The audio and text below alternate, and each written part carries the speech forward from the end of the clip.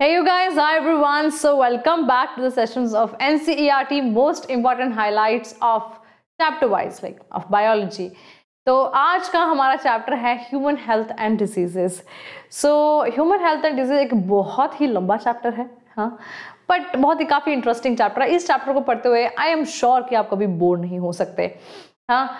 तो काफ़ी ज़्यादा इसके सब टॉपिक्स हैं और इस टॉपिक इस चैप्टर में कुछ एक जो टॉपिक्स हैं बेटा जिससे कि रेपिटेडली क्वेश्चन जो हैं, वो आते रहे हैं। तो इसको मैंने हायरार्की वाइज जो है, वो डिवाइड किया है। सबसे पहला टाइप ऑफ़ क्वेश्चन जो आपको आते हैं choose the correct combination of the bacterial diseases और वायरल डिजीजेस और प्रोटोजोन और द फंगल डिजीजेस तो आपको बेटा सबसे पहले नाम पता होने चाहिए the name of the bacterial viral fungal and protozoan diseases अगर उसके पॉजिटिव एजेंट से याद कर सकते हो तो उससे बढ़िया कोई बात नहीं। ठीक है? दूसरे नंबर पे आपका आता है बेटा life cycle of Plasmodium malaria बहुत सारे क्वेश्चंस पूछेंगे आपके इसमें। इमोजॉइंट्स क्या होते हैं? आ, कब कौन सा जो मलेरिया का जो प्लाज्मोडियम का जो स्पीशीज है सबसे ज़्यादा फेटल है? और इरिथ्रोसाइटिक शाइजोगोनी क्या होती है? And so many question can be formed मतलब एक ईच एंड एवरी पार्ट हाँ मुझे लगता है कि आप एन e सामने रखा है आपने तो मैं दिखा भी देती हूँ आपको कि कौन सा। तो ये पर्टिकुलर ये जो है आपका, ये ये वाला पेज है, इसको आपको क्या करना है, रट लेना है बस पूरा, ठीक है? तो मैंने काफ़ी बार पढ़ाया भी है बट कोई नहीं। इसको लेकिन ये जो है, इसमें से you can expect the maximum number of question ठीक है?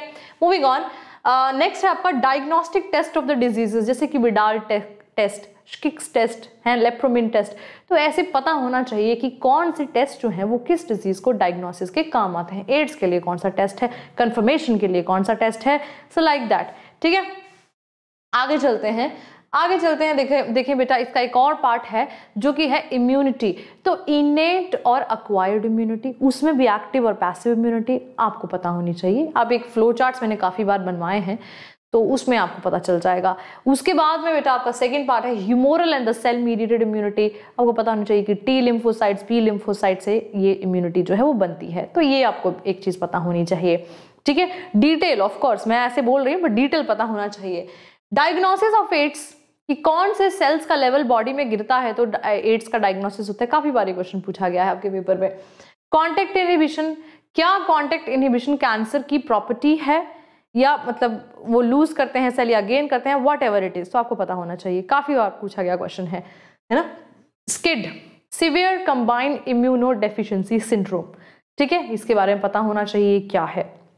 Moving on to the next last part drugs देखो ड्रग्स में से आपको एक क्वेश्चन ज़रूर आएगा। तो है वही बहुत ही एक छोटा सा टॉपिक है, जिसमें से कि बहुत सारे आपको ड्रग्स के बारे में बताया गया हेल्यूसिनोजेंस हैं आपके सेडेटिव्स हैं ट्रंकुलाइजर्स हैं, बहुत सारी चीज़ें हैं फेटामिन्स हैं बारबिट्रेट्स हैं। काफ़ी बार इस पर क्वेश्चन पूछे जाते हैं। तो I would suggest you personally कि आप इसको सारा ही पढ़िए, ठीक है? तो मेरे अकॉर्डिंग जो क्वेश्चन ज़्यादा जिस पे आते हैं, वो आते हैं ओपियोइड्स पे, है ना? मॉर्फिन पे, जैसे हेरोइन पे काफ़ी ज़्यादा क्वेश्चन पूछते हैं। कौन सा जो न्यूरो ट्रांसमीटर है, उसको ब्लॉक करते हैं और क्या इफ़ेक्ट होता है लाइक दैट दतूरा के बारे में पूछते हैं कैनबिस के बारे में पूछते हैं। कौन से स्टिमुलेंट्स हैं कौन से आपके जो हैं वो सेडेटिव्स हैं सी एन एस डिप्रेसेंट्स हैं तो ये पता होना चाहिए आपको, ठीक है ना?